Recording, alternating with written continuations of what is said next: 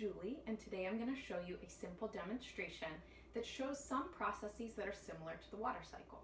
If you want to try this at home, please make sure that you have an adult with you. You'll need a few things for this demonstration.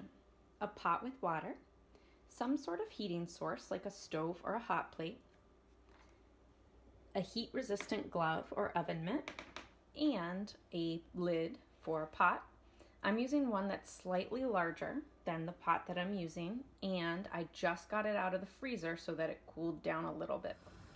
The first thing you'll need to do is bring the pot of water to a steady boil.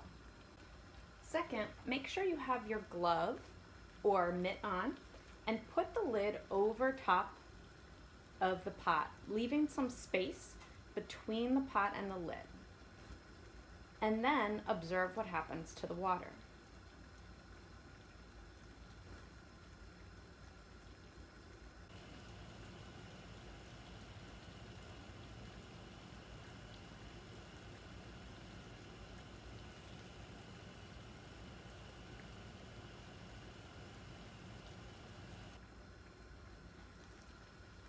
Let me show you a close-up of the lid right now.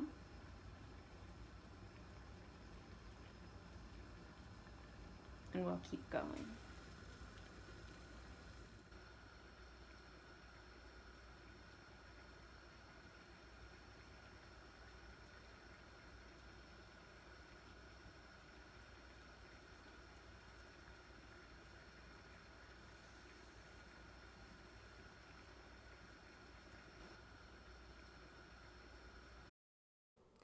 Now, record your observations and draw a diagram of the model you just saw.